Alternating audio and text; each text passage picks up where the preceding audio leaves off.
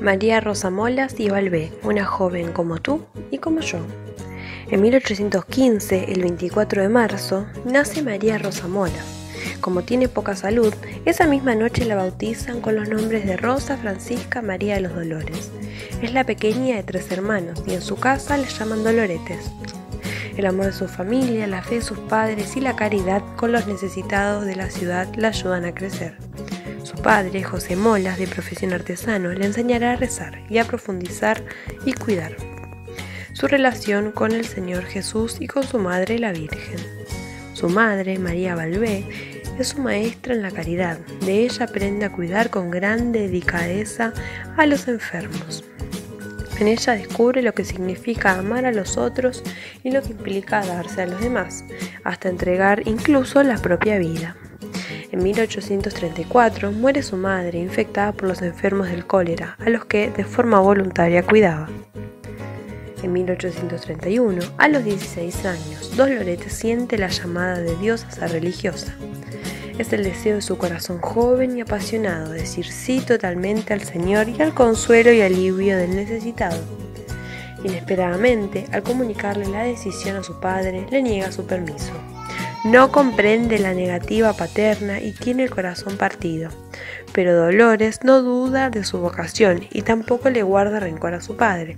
Confía en el Dios que la llama y aguarda el momento oportuno para resolver, responderle. Entre tanto, vive su amor a Dios y a los demás. Ora con intensidad, cuida con cariño a su padre y ayuda todo lo que puede en el hospital.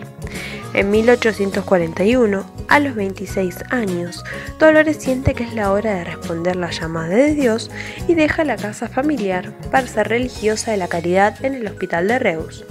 Toma el nombre de Sor María Rosa. Después de un tiempo de formación, María Rosa se traslada a la Casa de la Caridad de Reus para encargarse de la, educación de niñas huérfanas. En Tortosa, entre 1849 y 1876, el ayuntamiento de Tortosa pide ayuda a las hermanas de Reus para hacerse cargo de la Casa de la Misericordia de dicha ciudad. El 18 de marzo de 1849 llega María Rosa con varias hermanas para servir a Dios en las personas de aquellos abandonados. Encuentran en aquella casa un espectáculo devastador, enfermos sin medicinas, ancianos andrajosos, niños huérfanos malnutridos y analfabetos, piojos, suciedad, abandono, soledad. Las hermanas con mucho amor renuevan la cara de la casa y la convierten en un auténtico hogar. Al comprobar un cambio tan notable y evidente, el ayuntamiento pide a las hermanas que se hagan cargo también de la escuela pública y del hospital de Tortosa. María Rosa siente una nueva llamada de Dios, de ser instrumento de misericordia y consolación, y llevar el consuelo de Dios en todo lo que hace y a todos los que se relacionan con ella.